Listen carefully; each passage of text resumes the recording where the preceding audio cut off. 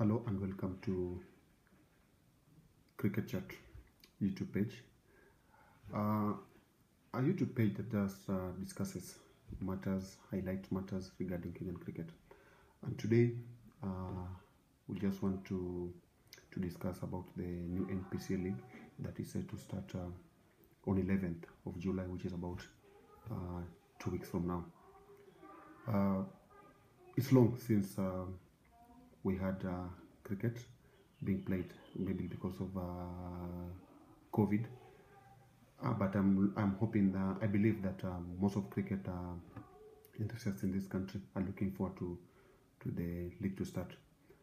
And uh, mm, as it has been the case before, uh, NPCA has been one of the it's um, it's the top league in the country that brings a number of players, uh, probably all the best group of players in the country take part in the NPC league, um, and uh, we also attract.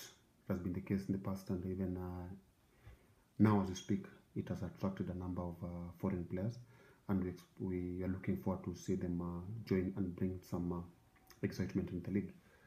Uh, for the Super League, I'll talk about the Super League.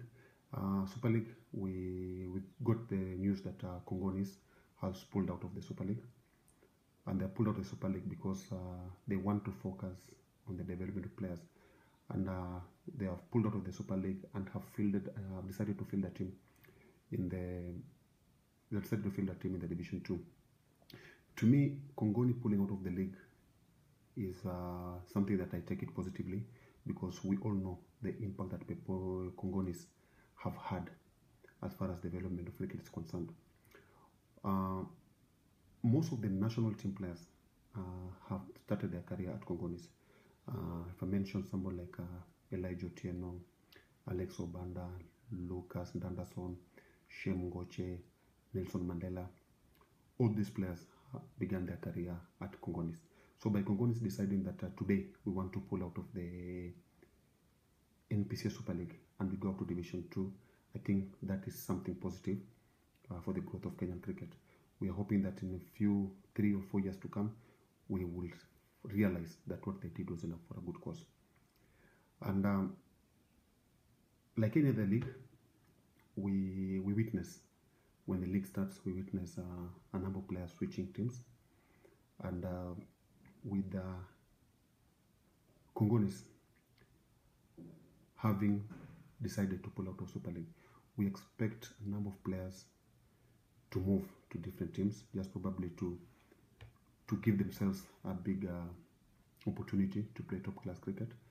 So we could see new uh, number of names moving out of Kongonis to join other clubs, but. Uh,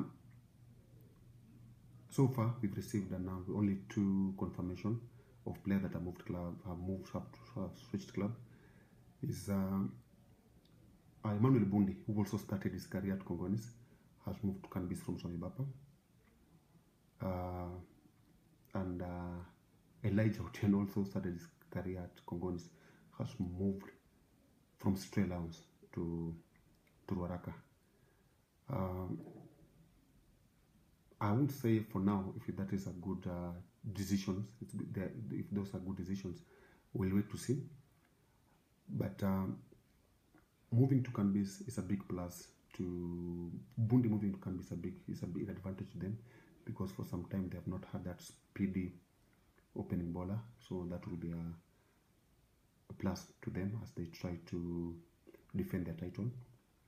And uh, Elijah moving to Ruaraka Ruaraka, again, they also needed somebody who's going to play a key role as far as uh, bowling is concerned, their pace bowling is concerned. So Elijah inclusion that a big plus.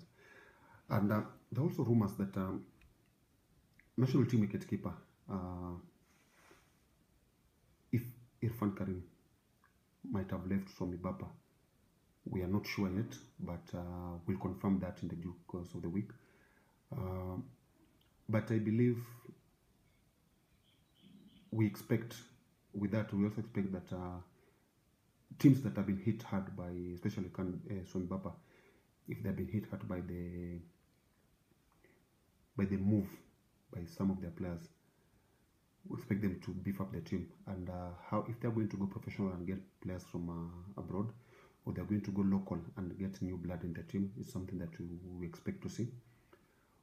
But uh, to me i expect that uh, we'll see new players who are going to bring a lot of uh, fanfare in the league and uh, bring hope to our fans that probably could have lost hope because of whatever had happened uh, due to COVID and even due to political wrangles that had dominated our game for some time. Um, that's for it for today. Um, hoping that uh, probably in one or two days we're going to get more development in regards to the NPC League. Uh,